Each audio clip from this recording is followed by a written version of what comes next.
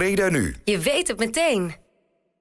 De Bredaanse Raad van Kinderen is bijeengekomen op het Stadserf om samen met prinses Laurentien, staatssecretaris Jetta Kleinsma en wethouders Marianne de Bie en Mirjam Haag te praten over armoede. Ja, wat, eh, wat vindt u ervan om met eh, kinderen te praten over armoede? de kinderen praten.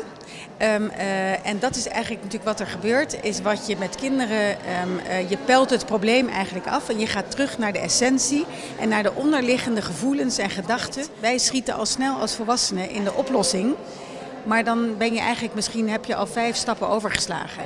En dat vind ik het bijzondere aan met het, eh, het werken met kinderen. En dan vervolgens zorgen dat volwassenen goed horen wat de kinderen nou echt zeggen. Want dat is vaak nog waar het aan schort. Wil zo graag dat alle kinderen in Nederland mee kunnen doen. Dus daarom heb ik ook 100 miljoen euro ieder jaar opnieuw weer, dus structureel beschikbaar gesteld. Om ervoor te zorgen dat alle kinderen in ons land kunnen sporten en muziek kunnen maken. En hun verjaardag kunnen vieren. En dus een dagje naar de Efteling kunnen. Want dat was hier in Breda natuurlijk ook een groot punt van aandacht. Nou ja, en dan moet je naar de kinderen zelf luisteren. Want die weten gewoon het beste wat hun, eh, hun klasgenoten en hun vrienden en vriendinnen ja, nodig hebben om echt mee te kunnen doen. Nou, Breda is een van de vijf steden eh, waarmee we werken aan een pilot voor het ministerie van Sociale Zaken. Om te kijken hoe kan, wat is er voor nodig dat iedere gemeente op deze manier de inzichten van kinderen meeneemt. Maar dat het niet vrijblijvend is, want daar zijn wij niet van. Dus Breda eh, gaat nu met, wij zijn nu dus aan het spreken en werken met Breda.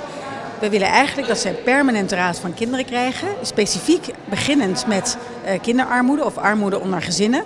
En te zeggen van wat hebben wij nodig? Hoe kunnen wij dit eigenlijk zelf en de inzichten van kinderen structureel meenemen in de manier waarop wij ons beleid vormen, de oplossingen die we bedenken en dat wij niet die stappen moeten overslaan.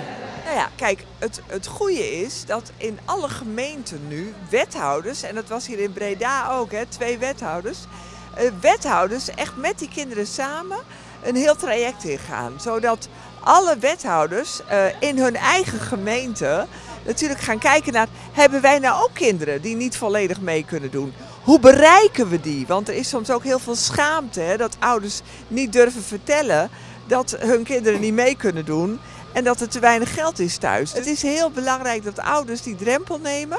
Nou ja, en in alle gemeenten moeten wethouders dus veel meer met hun eigen jonge burgers praten. Breda nu. Je weet het meteen.